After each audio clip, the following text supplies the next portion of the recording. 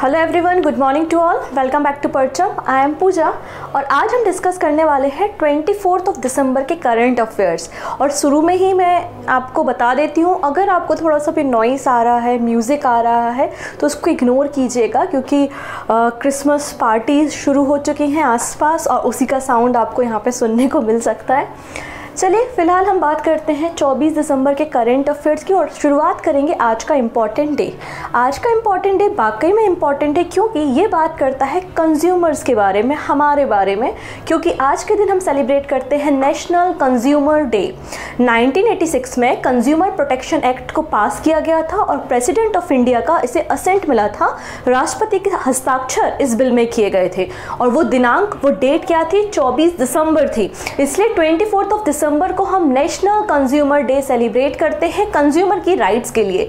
अब आपको कंफ्यूज नहीं होना है national and world consumer day के बीच में। National consumer day twenty fourth of दिसंबर को मना रहे हैं, ओके?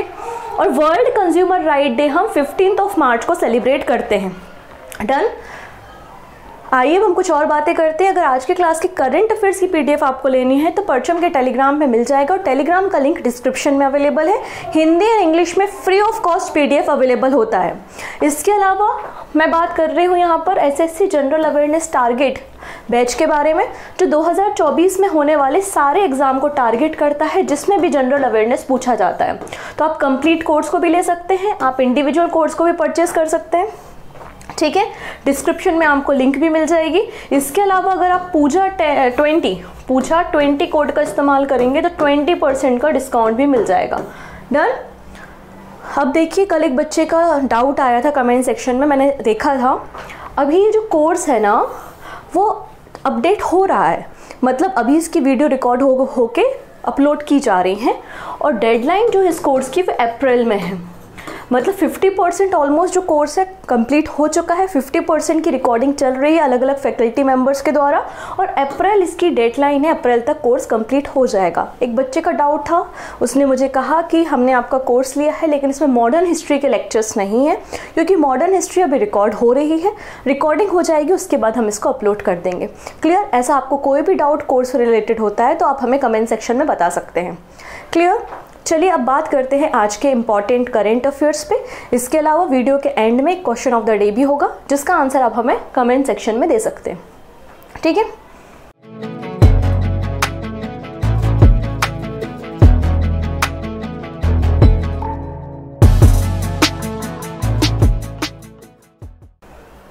आज के करंट अफेयर्स में हमें केवल और केवल एक ही पर्सन के बारे में बात करना है, और वो है सुकीर्ता पॉल कुमार।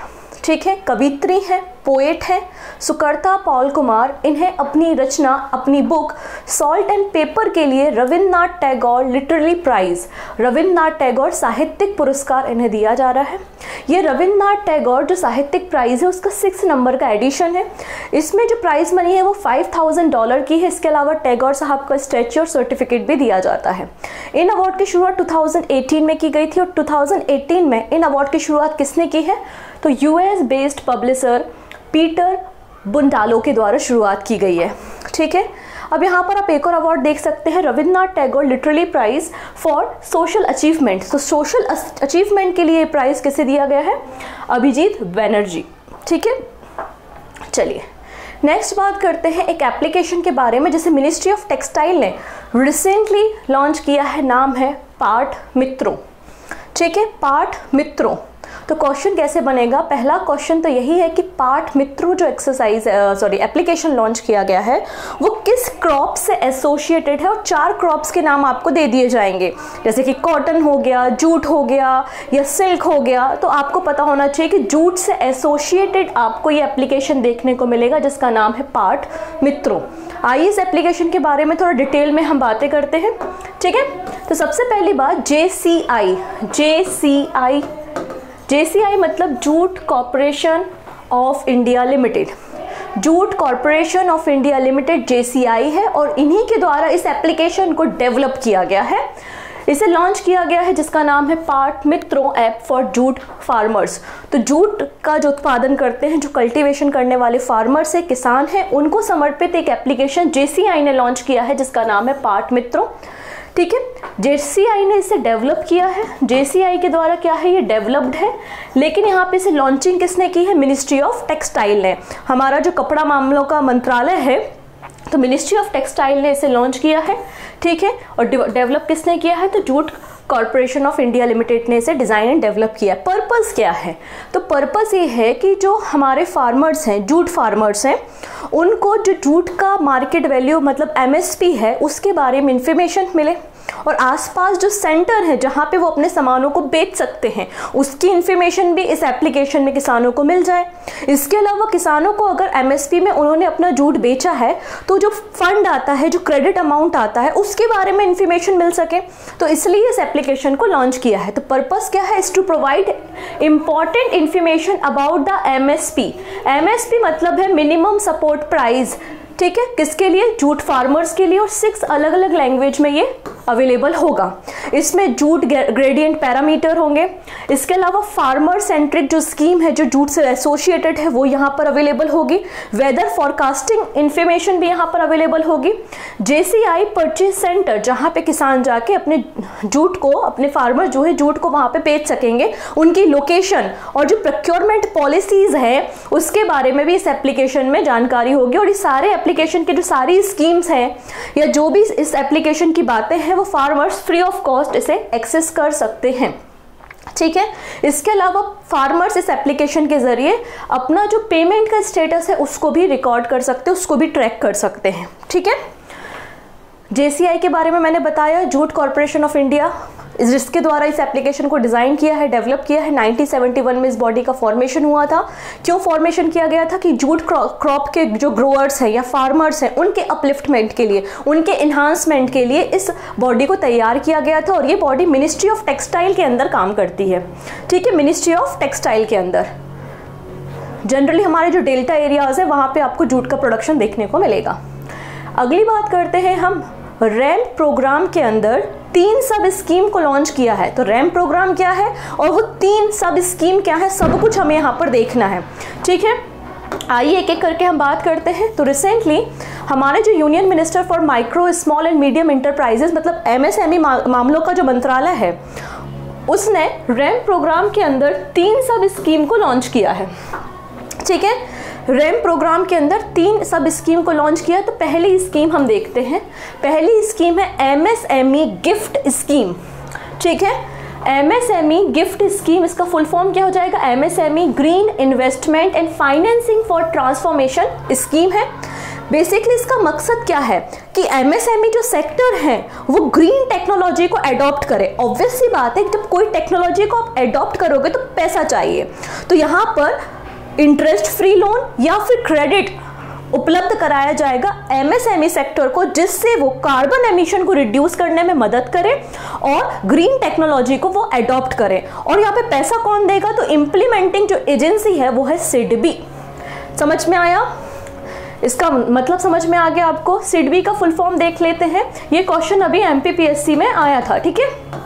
चलिए तो SIDBI small industrial development bank of India है, जो कि मिनिस्ट्री ऑफ़ फाइनेंस के अंदर काम करने वाली एक संस्था है, एक बॉडी है, और इसका फॉर्मेशन सेकेंड अप्रैल 1990 1990 में हुआ था और हेडक्वार्टर आपको मिलेगा लखनऊ में। पहली स्कीम आपको क्लियर है। सेकेंड स्कीम देखते हैं।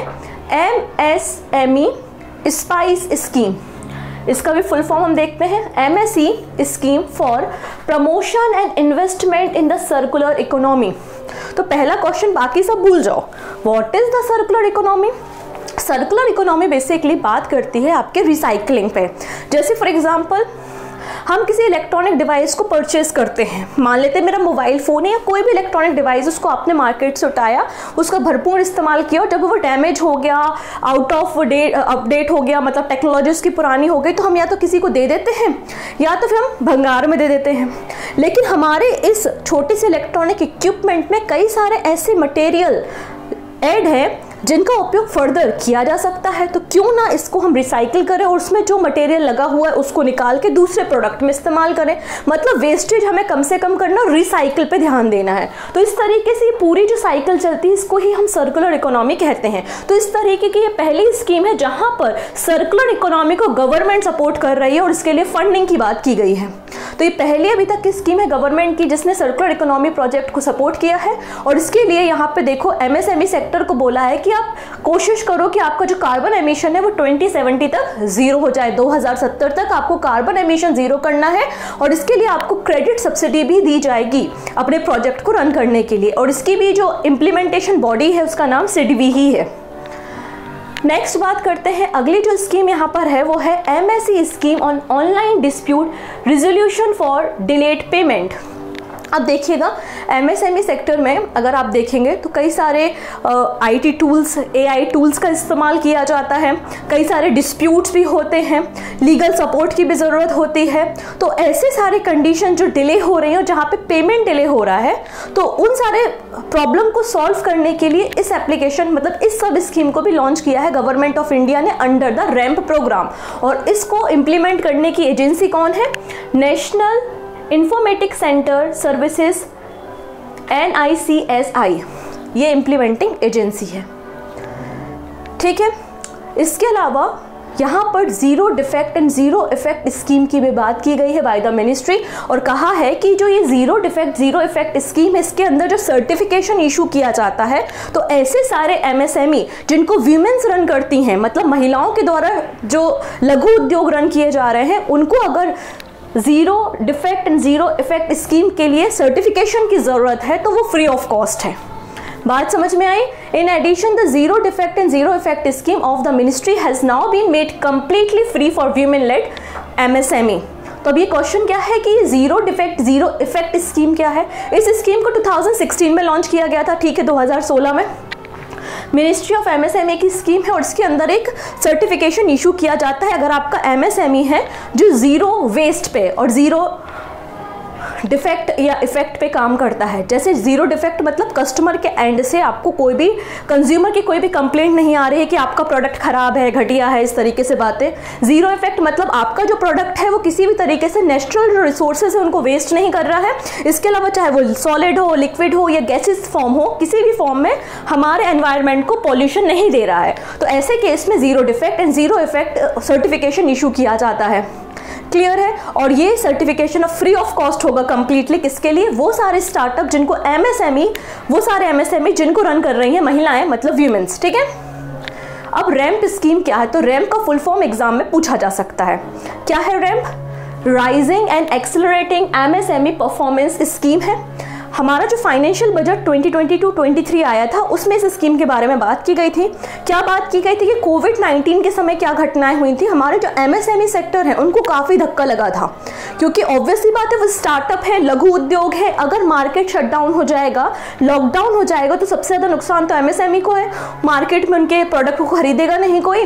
और ऑब्वियसली बात है, जो खर्चा चल रहा है, वो तो चलता जाएगा मतलब इनकम नहीं है, लेकिन लॉसेज हो रहे हैं। तो एमएसएमई को काफ़ी लॉसेज हुए थे। तो उन लॉसेज की रिकवरी के लिए, उन लॉसेस की रिकवरी के लिए बेसिकली यहाँ पर रैम्प स्कीम को शुरू किया गया था। ये स्कीम सेंट्रल गवर्नमेंट और वर्ल्ड बैंक के असिस्टेंस से रन होती है। ठीक है? वर्ल्ड बैंक का, का बात करें अगर हम टोटल पहले कंप्लीट बजट देखते हैं तो रैम्प स्कीम के लिए जो टोटल बजट था वो 6000 करोड़ था जिसमें से 3750 करोड़ वर्ल्ड बैंक देगी एंड रिमेनिंग 2300 लगभग जो है ये फंड इंडियन गवर्नमेंट देगी ठीक है? चलिए अब अगली न्यूज़ को समझने से पहले इस मैप को थोड़ा सा देखना पड़ेगा। इस मैप में आपको क्या देखना है? ये अरेबियन सी है ठीक है? यहाँ पर ये रेड सी है ओके रेड सी और अरेबियन सी के बीच में आपको दिख रहा है गल्फ ऑफ़ अदन दिख रहा है गल्फ ऑफ़ अदन जिसकी बॉर्डर यहाँ पे यमन और सोमालिया के साथ भी लग रहे हैं। ये जो गल्फ ऑफ़ अदन है ना, यहाँ पे पायरेसी वो लूट मार आप बोल सकते हो, जहाज़ों को लूटना तो पायरेसी बहुत ज़्यादा बढ़ रही है। इसलिए यहाँ पर गवर्नमेंट ऑफ़ इंडिया ने अपने आईएनएस मतलब जो आपके नेवल फोर्सेस के शिप्स हैं, उनको यहाँ पर डिप्लॉय किया है। ठीक है तो न्यूज़ बस इतनी सी थी। In which water area has the Indian navy recently deploy indigenous guided missile तो भारतीय नौसेना ने हाल ही में किस जल क्षेत्र में स्वदेशी गाइडेड मिसाइलें तैनात की हैं? तो मिसाइलों को तैनात किया गया है गल्फ ऑफ़ अदन में। क्यों? क्योंकि जो पायरेसी अटेम्प्ट हो रहा है, जो पायरेसी की घटनाएँ हो रही हैं, उनको प्रिवेंट करने के लिए, उनको कम करने के लिए। गल्फ ऑफ़ अदन जो है, वो अरेबियन सी और रेड सी के बीच में लोकेटेड है। हॉर्न ऑफ़ अफ्रीका के पास आपको देखने को मिलेगा। यमन और सोमालिया के साथ बॉर्डर भी शेयर करते हुए आपको ये दिखाई देगा। ये तो हो गया इंडिया की बात। अब अमेरिका क्या कर रहा है? क्योंकि यहाँ पर अमेरिका के जहाज़ों को भी लूटा जा रहा है तो ऑब्वियस सी बात है, उसको भी तो कुछ एक्शन लेना ही पड़ेगा तो देखेंगे। ऑपरेशन प्रॉस्पेरिटी गार्डियन यूएस ठीक है? यहाँ पर यूनाइटेड स्टेट के द्वारा बोला गया है कि हम अपनी जो नेवल फोर्सेज हैं उसको बहुत स्ट्रांगली फॉर्म करेंगे और डिप्लॉय करेंगे गल्फ ऑफ़ अडन रीजन में। गल्फ ऑफ़ अडन रीजन में जो यमन के विद्रोही हैं, जिनका नाम क्या है? होती इनका जो कह सकते हैं कि इनके अटैक्स बढ़ते जा रहे हैं पायरेसी की घटनाएँ बढ़ते जा रही हैं और वो लूटमार ज़्यादा मचा रहे हैं। इसलिए इसे रोकने के लिए यहाँ पे बहुत ज़्यादा ज़रूरत है कि एक नेवल प्रोटेक्शन फोर्स को डिप्लॉय किया जाए। ठीक है? ऑपरेशन प्रॉस्पेरिटी गार्डियन जो है, ये एक मिलिट्री ऑपरेशन है। जो कि कई सारे देशों का एक संगठन है, जिसको दिसंबर में ही लॉन्च किया गया है। मकसद क्या है कि जो रेड सी का एरिया है, और वहाँ पर जो होती अटैक हो रहे हैं, उनको रेगुलेट करना, उनको कम करना और अपने शिप्स को बचाना। क्लियर है? इसलिए यहाँ पे लॉर्ड आस्टिन जो कि यूएसए के सेक्रेटरी ऑफ़ डिफेंस है, उनके द्वारा कहा गया है कि पूरे वर्ल्ड को मिलकर यहाँ पर मैरिटाइम सिक्योरिटी फोर्सेस को डिप्लॉय करना चाहिए गल्फ ऑफ़ अदन में। ठीक है? इतनी चीज़ें क्लियर है। अब कौन कौन सी कंट्री है यहाँ पे? तो करेंटली अगर बात करें तो ट्वेंटी मेंबर्स हैं। कौन कौन बहरीन, कनाडा, फ्रांस, इटली और ये सारी कंट्रीज़ आपको यहाँ पे शामिल देखने को मिलेंगी। होतीज़ कौन है? तो होतीज़ जो है वो इस्लामिक इस्लामिक पॉलिटिशियन रिबेल्स हैं और इन्होंने यमन के एरियाज़ में नाइनटीन के आसपास विद्रोह करना शुरू किया था। ठीक है, इतनी चीज़ें और इनका जो मूवमेंट है, उसको हम अनसरलाहा मतलब गॉड सपोर्टर के नाम से भी जानते हैं अब अगला जो क्वेश्चन एक बहुत इंपॉर्टेंट क्वेश्चन यहाँ से स्टैटिक बन सकता है कि रेड सी तो हमने देख लिया कहाँ पर है लेकिन रेड सी कौन कौन सी कंट्रीज़ के साथ बॉर्डर शेयर करता है, ये बहुत अच्छा क्वेश्चन है। जैसे कि ब्लैक सी कैस्पियन सी इनके साथ क्वेश्चन बनते हैं ना एग्ज़ाम में, वैसे ही पूछा जा सकता है कि रेड सी किसके साथ बॉर्डर शेयर करता है।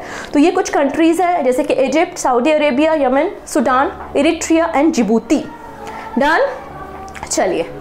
नेक्स्ट कुछ समय पहले एक घटना हुई थी हमारी पार्लियामेंट में।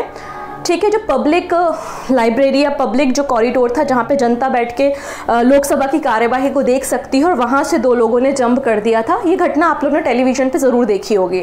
तो मतलब सिक्योरिटी जो है वो पार्लियामेंट की ब्रीच हुई तो मिनिस्ट्री ऑफ़ होम अफेयर्स के द्वारा एक स्ट्रिक्ट एक्शन लिया गया। तो हमारे गृह मंत्रालय ने कहा है कि अब जो पार्लियामेंट का प्रोमाइसेज है, उसकी सिक्योरिटी की रिस्पॉन्सिबिलिटी अब दिल्ली पुलिस के पास नहीं रहेगी, हम ये रिस्पॉन्सिबिलिटी सी को देते हैं। तो अब पार्लियामेंट की जो सिक्योरिटी है उसकी ज़िम्मेदारी सी को दी जा रही है by the ministry of home affairs clear है? तो C I S F replace Delhi police for the parliament security ministry of home affairs ने ये बात की है तो C I F C I S F जो है पहले एक सर्वे करेगा, पूरे प्रमाइसिस को विज़िट करेगा, और उसके बाद अपनी फोर्सेस को, अपनी फायर फोर्सेस वगैरह सबको वहाँ पे डिप्लॉय करने का काम करेगा. क्लियर है इतनी चीज़ें? सी आई एस एफ़ को टेंथ ऑफ़ मार्च नाइन में तैयार किया गया था. डन नेक्स्ट बात करते हैं अबाउट द आईसीएआई मतलब institute of chartered accountant of India इस बॉडी को भी पार्लियामेंट के एक एक्ट से 1949 में सेटअप किया गया था। हमारे देश में जितने भी सीए होते हैं चार्टेड अकाउंटेंट होते हैं, उन सबको लाइसेंस देने का, लाइसेंस देने का काम, वो प्रॉपरली काम कर रहे हैं कि नहीं, कोई गलत एक्टिविटी में तो इन्वॉल्व नहीं है। उनके लिए डिसिप्लिन उनके लिए लॉ बनाने का काम बेसिकली आईसीएआई करती है मतलब institute of chartered accountant of India इन्होंने अपना नया लोगो यहाँ पर रिवील किया है, देखेंगे।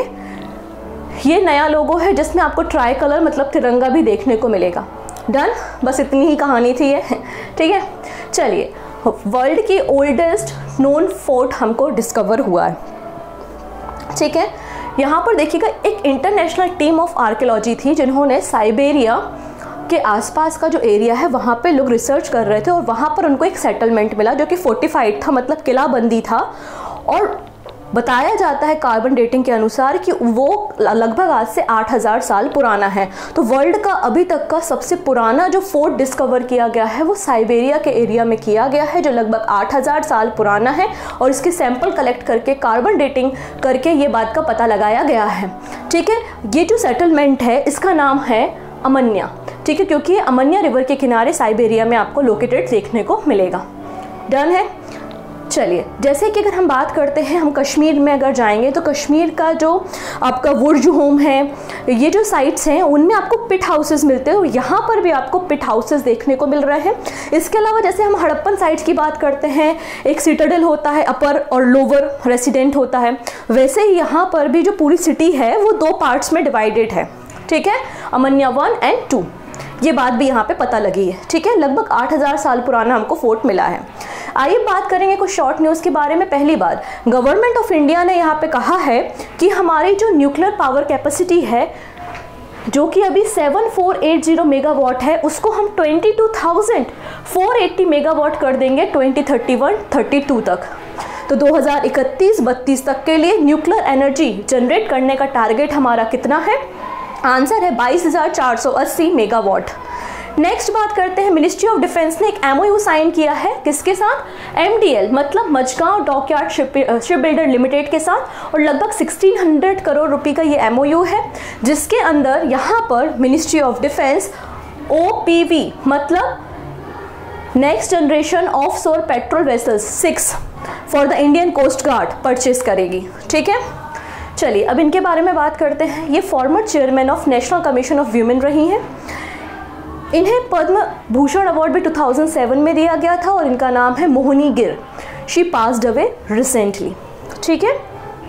नेक्स्ट बात करते हैं अबाउट द नाम दफ़ा नेशनल पार्क और नाम दफ़ा नेशनल पार्क अरुणाचल प्रदेश में है और यहाँ पर हमें फ्लाइंग स्क्रूल देखने को मिली है। उड़ती हुई गिलहरी। ठीक है? लगभग 42 ईयर्स के बाद इन्हें स्पॉट किया गया है तो आपका एक अच्छा क्वेश्चन बन सकता है कि नामदफा नेशनल पार्क कहाँ है, जो अभी न्यूज़ में था, अरुणाचल प्रदेश में है। दूसरा क्वेश्चन बन जाएगा कि बताइए फ्लाइंग स्क्रूल के लिए, उड़ती हुई गिलहरी के लिए कौन सा नेशनल पार्क जाना चाहता है? तो आंसर हो जाएगा नामदफा नेशनल पार्क एक छोटा सा क्वेश्चन मुझे याद आया। रिसेंटली टेन ब्लैक टाइगर भी मिले हैं। ठीक है, वो कहाँ मिले हैं? वो आप हमें देख ले, देख लीजिएगा, ढूंढ लीजिएगा न्यूज़पेपर में और कमेंट में बताइएगा।